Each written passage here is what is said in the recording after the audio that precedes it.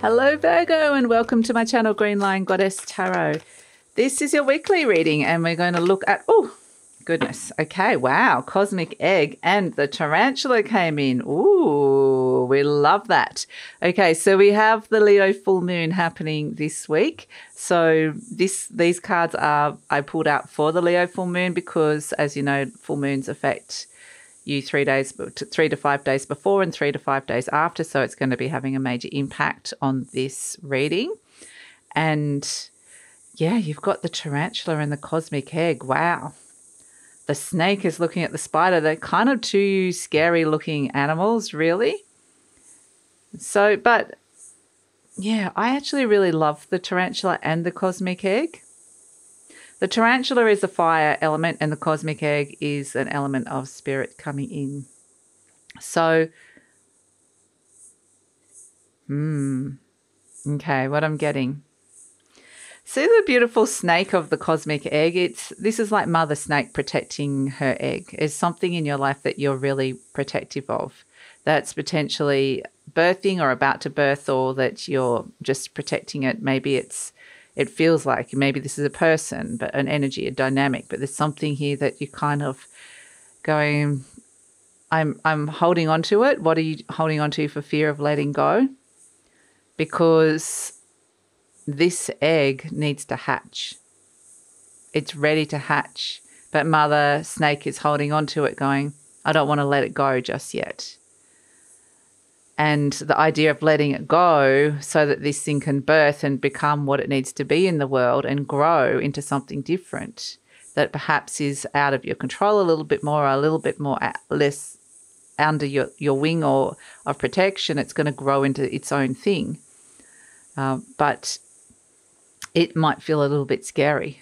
Like she's looking at the tarantula going that looks scary. What if it births and it's a tarantula what if a tarantula comes out of the egg? And so all these kind of weird fears about I mean, that's just not going to happen. Snake's not going to give birth to a tarantula. Uh, I know it sounds like completely like, but these are what these fears can be. They can be irrational fears that are coming in. So it's it's also a sense of if this thing's birth, then perhaps there's a lot of work that comes in, or perhaps it takes you along a path that seems scary or seems like it's going to take you out of a comfort zone in some way, shape, or form. So, but it's almost like it can't really, it's ready to, it's ready. Whatever this cosmic egg represents, it's ready to birth in your life. So it's kind of like the energy, the analogy that they're giving me, and this is just an example, is the parent who has the child who's about 16, oh, probably 17, well, probably 18. Okay. Between 17 and 18, somewhere around there. Like uh, an age where they could technically leave home if they wanted to. And they'd be old enough to kind of support themselves. So, whatever age that is, might be older than that. But the age is not specific. So, but it's like the parent at one point it's like that, that child needs to go out and explore the world and go off to university or college or just get a job or go traveling or whatever it is that they want to do with their life. Um, but the parent has still got that sense of knowing that the child needs to go out and live their life but at the same time it's like but i don't want you to leave. I like having you home. I, our dynamic is going to shift and change in some way shape or form and it's a necessary evolution and perhaps it might even be better but there might be irrational fears that are coming. What if this happens? What if that happens like natural parenting fears? You know see our child climb a tree and immediately thinking like could be thinking of all the things that go wrong. Is it going to fall out? Is it going to hurt itself? So it's just these sense of i'm just getting these like uh, fears that could be coming up about letting this thing, whatever it represents in your life, so it doesn't have to be particular to that example, um, but it's something's ready to grow and take a life of its own at this moment in time. And so it's about trusting that, trusting what it's going to be and that it's going to be okay, and that trusting that this is the natural evolution of things and that this needs to happen. So let's see, let's pull a card around, supporting card around this. Look at that, the High Priestess, the beautiful cat coming in. So intuition and sacred knowledge. there's a part of you that or, that knows this because you are the cosmic egg. You know, the cosmic egg is your soul and spirit. Um, so it's it already knows, and perhaps that this thing needed to be protected, needed to have that sense of, um, you know, spirit was protecting it. But spirit is now giving you the message it's time to hatch. So trust the intuitive messages that you're getting in that you that are coming in with this. There's sacred knowledge that's coming around with it with the high priestess. So things are going to be revealed to you about you know ha- what's happening with this at the right time, and it's just about trusting that process when the high priestess comes in. Now, interestingly, for some of you, I'm just getting the cosmic egg could quite literally be your your sacred knowledge. This could be you opening up to your intuition, to your psychic abilities, to esoteric knowledge in some way, shape, or form. And maybe that seems a bit scary. Um, but yeah, whatever it is that you're opening up to, the high priestess is saying she's by your side. Your intuition is by your side here. And so the high priestess brings synchronicities and brings luck.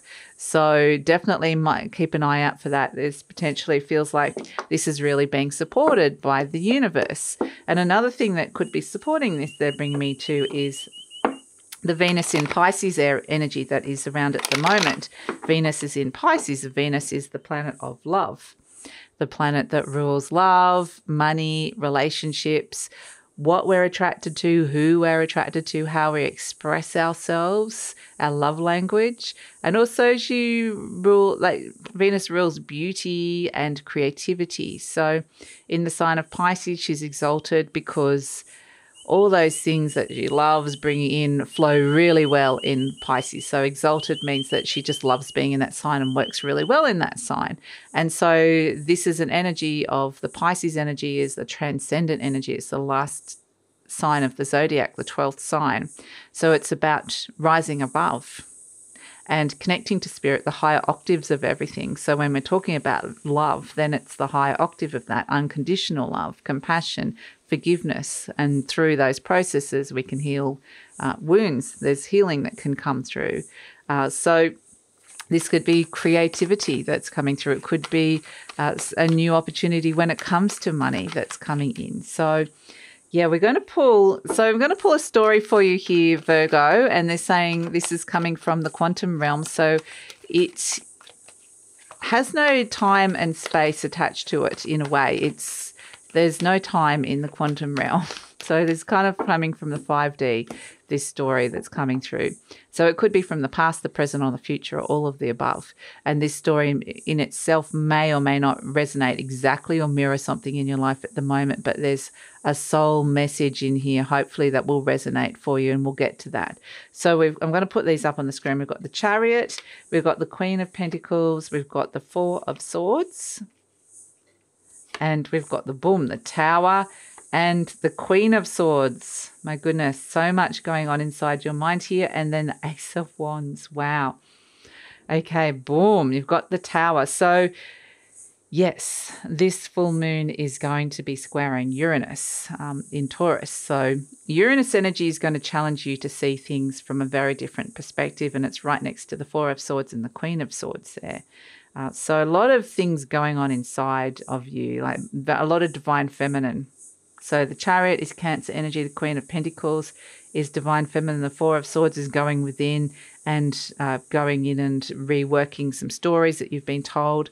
The Tower is like the moment where it's like, boom, I'm really realizing what this means and I'm really seeing this from a very different perspective. And then the Queen of Swords is releasing fears. Her head is above the clouds of fear and doubt here. And she's saying yes to something. There's this inner resolve, this inner clarity. This is how I, this is what I'm thinking here. Thinking very clearly, I can see it. And so she's giving something the green light. And so therefore, we've got the Ace of Wands, which is like the act the divine masculine being activated something's being activated that wants to be put out there in the world aka the cosmic egg. So this is an activation of the divine masculine. Um, a new goal a new uh, passion a new path that comes in and opens up for you. So yeah, the Ace of Wands is the fire of um, Aries, which is kind of, um, or and Leo as well. But it's kind of like almost like you've got to trust your instinct. Um, when this comes, there's an opportunity that you've kind of potentially got to make a very quick decision around and go for it when it comes in. So that's something that's coming in with this. Um, they haven't really given me the quantum story. Sorry, I just started reading the cards. Uh, so let me see if this is coming through. So Okay, this is the story. It's the person that thought that this is a person that they're saying that thought they knew it all. They understood the world, what they could see, what they could feel in front of them. This was the world, the material world. And this is what they knew to be true. But then one day, it was like this energy came into their mind, came into their head whether it was through religion, philosophy, some kind of higher information or learning or study, but it came into their mind. Their mind was filled with this new information, this new knowledge. And that completely blew open their sense of reality. That it wasn't just what they saw right in front of them, that there was this whole other world out there. There was all these other things out there there was like, yeah, this other realm. And so it took a while for this person to process it all.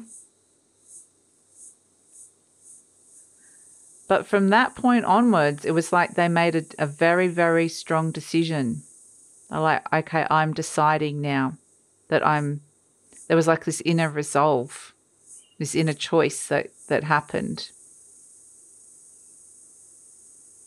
Now that they've seen so much more and understood so much more, they saw very clearly what they needed to do. Now, for whatever reason, they're showing me like it's kind of like there's a real bit of a mission that this person has got this sense of now I know how to serve humanity better.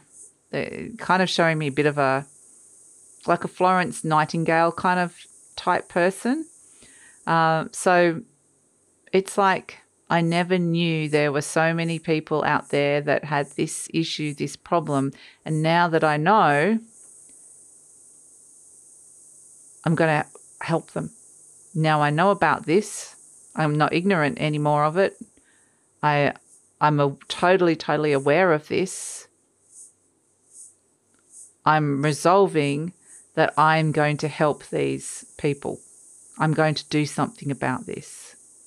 So, you know, you can, it doesn't have to be that exact example. It doesn't, I'm kind of showing me a lot of humanitarian, charity kind of energy, like really wanting to serve and help other people and understand that there's a collective energy. But this, you could apply this to just an issue in your life. It's like, now that this kind of other perspective has come in, or this new knowledge or information has come in, it's like a sense of now I know.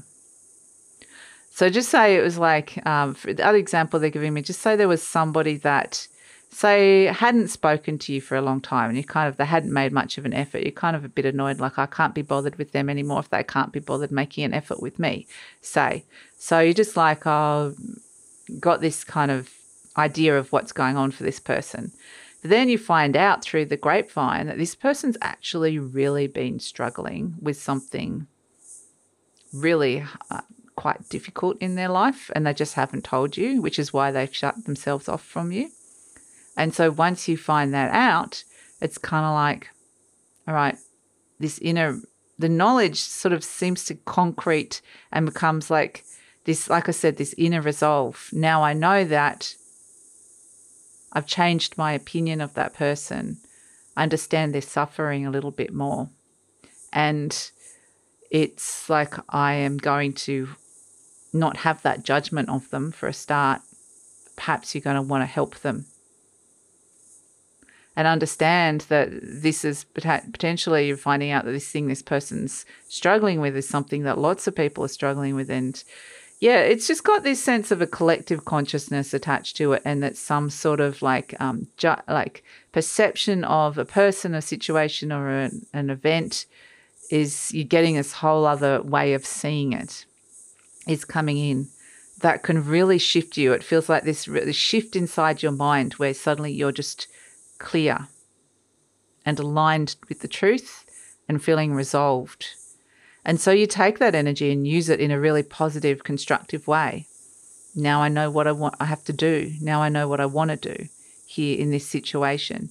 Now it doesn't have to be connected to charity or uh, it just has this kind of yeah, collective humanitarian vibe like you want to do something for the better of the better for all kind of thing. Um, so, but it's also making your life better at the same time. So, yeah, it really is this sense that